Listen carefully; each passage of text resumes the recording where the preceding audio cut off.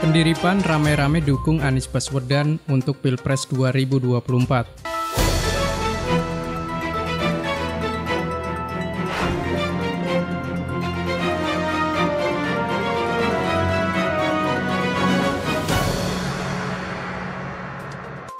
Sejumlah pendiri bersama kader dan simpatisan Partai Amanat Nasional mendeklarasikan dukungan untuk Anies Baswedan pada Pilpres 2024. Mereka melihat sukses Anies yang hanya satu periode di DKI Jakarta layak dilanjutkan ke pentas nasional.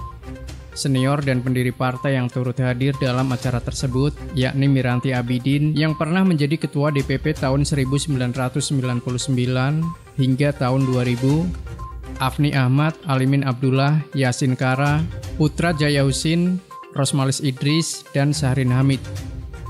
Dalam keterangannya, Hamid mengatakan deklarasi dukungan ini dilakukan dalam rangka menjembatani aspirasi konstituen PAN dalam Pilpres 2024. Maka kami dari entitas PAN yang terdiri dari pendiri deklarator PAN, anggota DPR RI, mantan anggota DPR RI dan kader, serta simpatisan partai dengan ini telah membentuk ANIS atau Amanat Indonesia. Ujarnya di Kemang, Jakarta Selatan, Rabu 23 November 2022.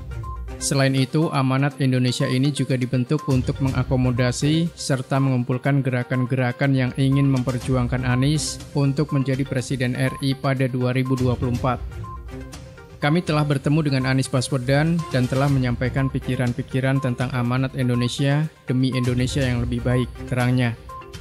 Hamid juga mengatakan bahwa sebagian dari gerakan relawan, maka dalam konteks pemenangan Anies, Pihaknya akan bekerja sama dengan relawan lainnya untuk mensukseskan kemenangan Anies Baswedan.